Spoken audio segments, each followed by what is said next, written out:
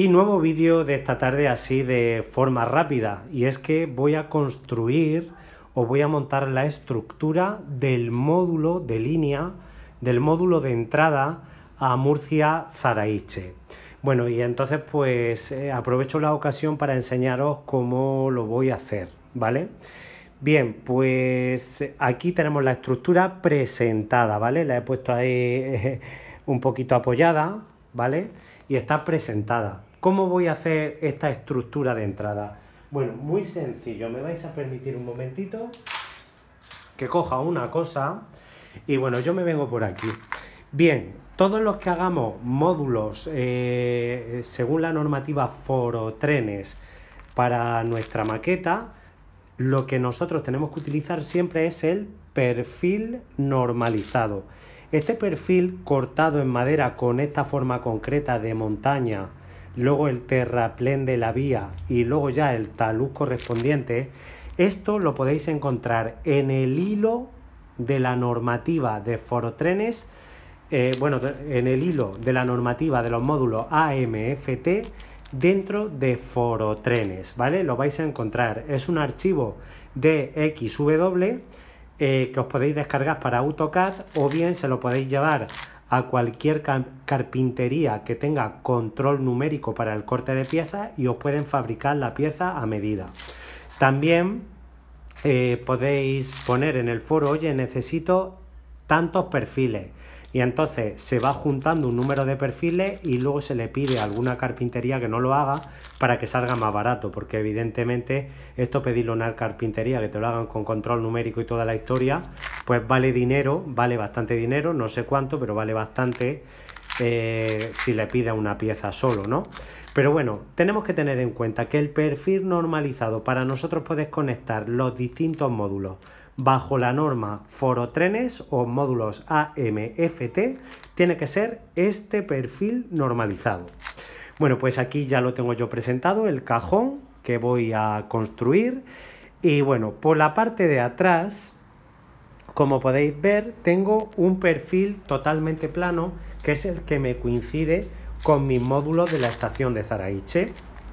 Por delante, donde tenemos el perfil normalizado la anchura son 50 centímetros y por la parte de atrás son 55, pero esto ya no va normalizado según foro trenes. ¿Por qué? Porque dentro del conjunto modular yo ya puedo, digamos, usar la anchura que a mí me interese según, en este caso, para mí mi disposición de vías.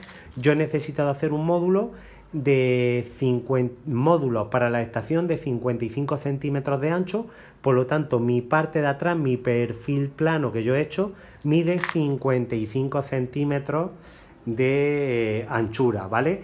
El módulo en sí no va a ser totalmente rectangular, sino que va a formar un pequeño trapecio. ¿Por qué? Porque en el lado del perfil normalizado tengo 50 centímetros de ancho, en el lado del perfil que yo voy a utilizar para la estación de Zaraiche, para la Unión, tiene 55, ¿vale? Bueno, en este caso estoy utilizando los perfiles finos. Nosotros tenemos dos tipos de perfiles en forotrenes. Los perfiles normales que tienen 17 centímetros de, mm, digamos, de profundidad, ¿vale? Y tenemos los perfiles que miden 10 centímetros de profundidad. Bueno, pues concretamente este perfil mío mide 9 centímetros más luego un centímetro de la madera que yo voy a utilizar de base para el terreno o para la plataforma de la vía. ¿De acuerdo? Luego podéis ver los agujeritos ya señalizados para taladrarlos, que esto sí lo he hecho yo coincidir con la normativa Foro Trenes para que en el caso de que yo tenga que unir puntualmente un módulo normalizado con el mío, los pueda unir porque tanto la vía como los agujeros de conexión que luego yo voy a tener con los, tornillos y las palometas para unir los distintos módulos, pues lo he hecho ya pensando en que coincida, aunque lo que sea el relieve del terreno no, no coincidiera en un principio, ¿vale? Que es como he estado conectando Murcia-Zaraiche hasta la fecha. Bueno, pues aquí podéis ver cómo se construye el módulo. Pues yo tengo el lado, eh, mm, en este caso sería el lado norte, lado sur, lado este y lado oeste, ¿vale? Entonces aquí los perfiles que yo he utilizado son 9 centímetros y luego encima iría un centímetro de la tabla correspondiente al terreno, ¿vale? Por lo tanto, el grosor de mi perfil, de mi perfil va a ser 10, ¿de acuerdo? Bueno, pues ahí lo tenemos. Así es básicamente como se construye el cajón. Nosotros, bueno, pues lo podemos, si queremos atornillar, utilizar cola blanca. En mi caso yo lo voy a atornillar con tirafondos de 3 por 40. Aquí los tenéis, 3 por 40. Y voy colocando, por ejemplo, aquí dos o tres tirafondos, luego en este extremo otros dos o tres tirafondos, en este extremo pondré dos tirafondos y en el otro lado igual, de tal manera que ya el conjunto se me va quedando estable.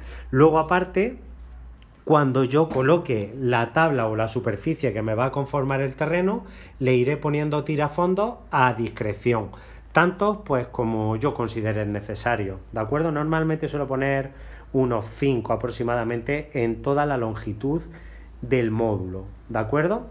Bueno, pues, eh, ¿cómo voy a construir esto? Porque claro, dice, oye Francisco, el perfil no te coincide luego con, con, el terreno. Bueno, en este caso yo podría haber utilizado aquí una madera y haberla cortado con la misma altura.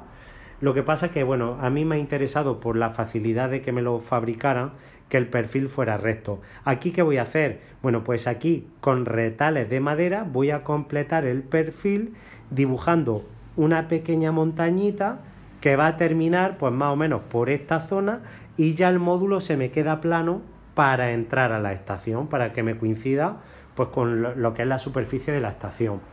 En este caso, ¿qué voy a hacer? Veis que aquí me sobra perfil. Pues lo que voy a hacer con la sierra de calar es cortar por esta zona e ir haciendo un poquito de dibujo de terreno hasta que llegue por aquí, donde yo ya dejaré la altura normal del perfil para conformar lo que es el terreno de la estación, porque este módulo va a ser el módulo de entrada, el módulo de línea de entrada a lo que es todo el conjunto modular de la estación de Murcia Zaraiche. Bueno, y luego ya le pondré las patas, que aquí en el canal pues tenéis un vídeo de cómo se construyen las patas y no va a tener mucho más problema, ¿de acuerdo? Bueno, pues esto ha sido un vídeo corto sobre la construcción de la maqueta y seguro que es súper útil para todos vosotros. Muchísimas gracias por seguir el canal y nos vemos, como siempre, en próximos vídeos.